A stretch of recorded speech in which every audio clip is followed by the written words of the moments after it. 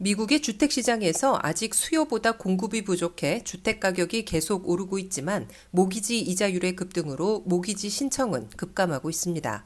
주택 모기지 신청은 6월 3일에 끝난 주간에 전주보다 6.5%또 감소하며 22년 만에 최저치를 기록했다고 모기지 은행 연합회가 발표했습니다.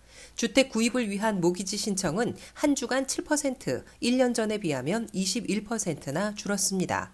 더욱이 재용자를 위한 모기지 신청은 전주에 비해 6%더 줄었지만 1년 전에 비하면 무려 75%나 급락했습니다.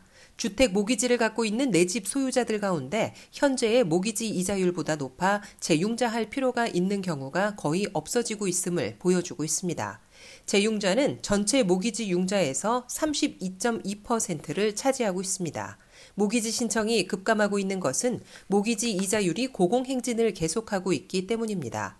주택 모기지 이자율은 30년 고정으로 20%를 다운하고 컨포밍 론인 64만 7,200달러까지 융자 받으려 할 경우 5.33%에서 이번 주는 5.40%로 더 올랐습니다.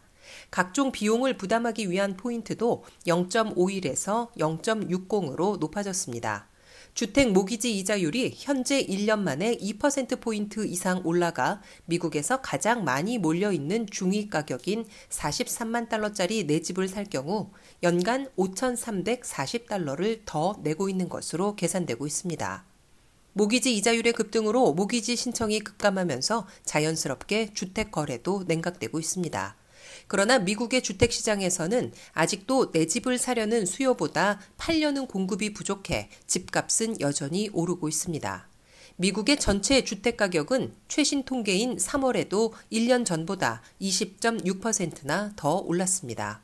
2월에는 19.8% 오른 바 있어 여전히 두 자릿수 집값 상승이 이어지고 있음을 보여주고 있습니다. 신축을 제외하고 전체의 80% 이상을 차지하고 있는 기존 주택 가격은 4월에 39만 1,200달러를 기록해 1년 전보다 14.8%나 더 오른 것으로 집계됐습니다. WKTV 뉴스 김유미입니다.